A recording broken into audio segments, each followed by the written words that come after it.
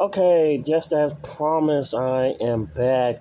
Uh, for those with the podcasting, um, well, it may seem like part one and part two, but this is just part two for the YouTube uh, fam.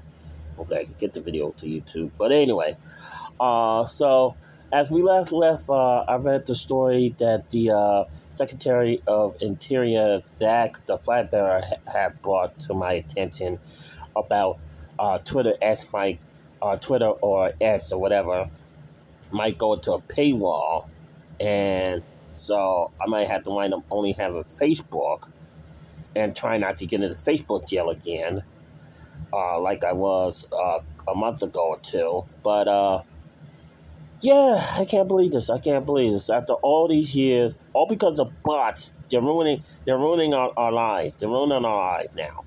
I mean, this is ridiculous. This, this is absolutely ridiculous. I already got other things to pay for in the first place. this is ridiculous. Absolutely insane. Okay. So, I want to talk to you about what's been going on in the world of that's now the new uh, TKO after the merger of the UFC and WWE. There has been some uh, uh, there has been some layoffs and um, and let goes. The most notable one, and I got this from uh, one of the uh, wrestling uh, community videos, and uh, that's how I got the, the firing news. But the notable one was the there was the the wife who was the widow widow of the Ultimate Warrior, and uh, she was let go of her her position in the WWE after the merger of uh, TKO, which is the WWE and UFC, and there was more than a hundred uh, hundred layoffs. You know, I don't like when it comes to layoffs and everything.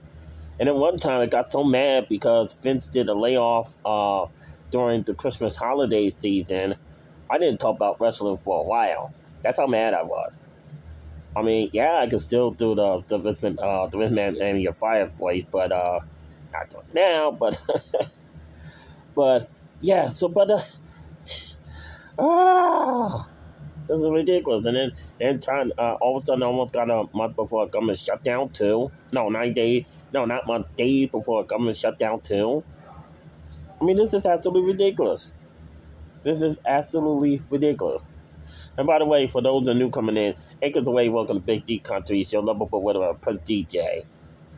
Uh, but I just started uh, random uh, random things to say, and this is part two. I uh, did the story and I ran about my phone not being able to stay charged after I cleaned it so many times. It did that when I was talking to my friend about going down to 99%. Uh, it did that when just randomly. Now, I like I said, I understand if I'm going to events like Podcast Movement, Podfest, or any other type of convention. I understand if I'm going to the store. I understand if I'm going to the doctor, but not when I'm in the the, the, the, the second palace. Not when I'm only in the second palace. I mean, come on.